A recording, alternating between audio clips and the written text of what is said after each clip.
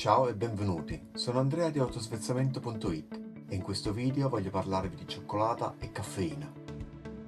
Uno dei motivi per cui la cioccolata viene considerata pericolosa è perché contenendo caffeina è eccitante.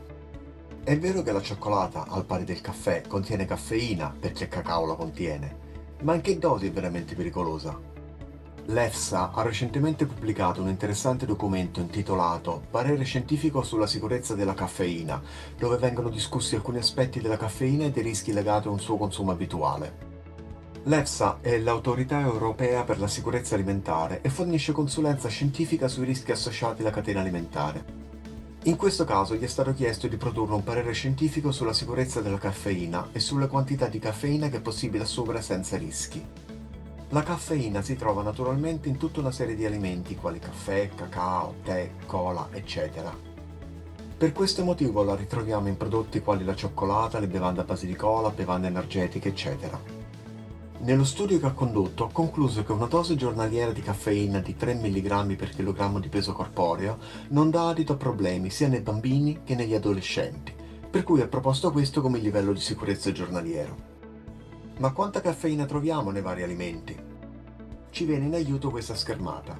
È ovvio che i dati sono puramente indicativi, in quanto varieranno da marca a marca e a seconda delle materie prime utilizzate.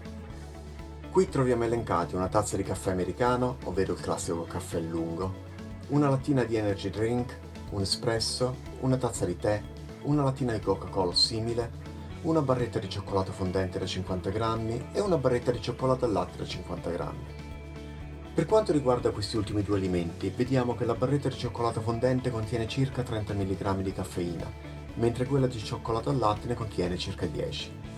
Tenendo quindi presenti i limiti di 3 mg per kg di peso corporeo al giorno che è stato fissato, scopriamo che i livelli di caffeina contenuti nel cioccolato non destano preoccupazione, in quanto piuttosto bassi.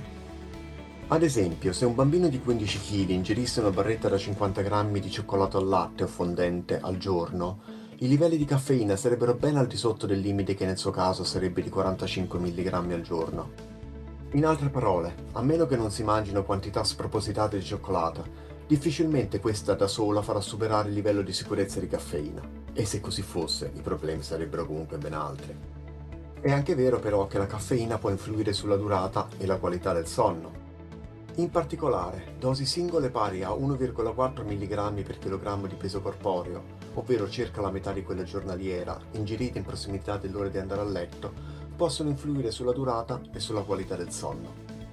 Quindi, se abbiamo un bambino di 15 kg, i 50 g di cioccolato al latte non destano preoccupazione dal punto di vista del contenuto di caffeina, mentre dovrebbe limitarsi a circa 25 di cioccolata fondente. Magari per sicurezza evitiamo di fare una cioccolata calda con tanto cacao proprio prima di andare a letto. Nella maggior parte dei paesi il cioccolato, che comprende anche le bevande a base di cacao, è la fonte principale di caffeina per i bambini, seguito da tè e bevande alla cola. Inoltre, nelle bevande a base di cacao, la quantità di caffeina varia a seconda della quantità e del tipo di cacao usato dalle varie marche.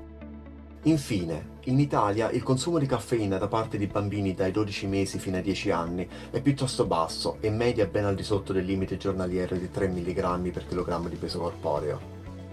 In conclusione, per quanto possa sembrare strano o sorprendente, la presenza della caffeina non rappresenta un motivo sufficiente per non mangiare la cioccolata.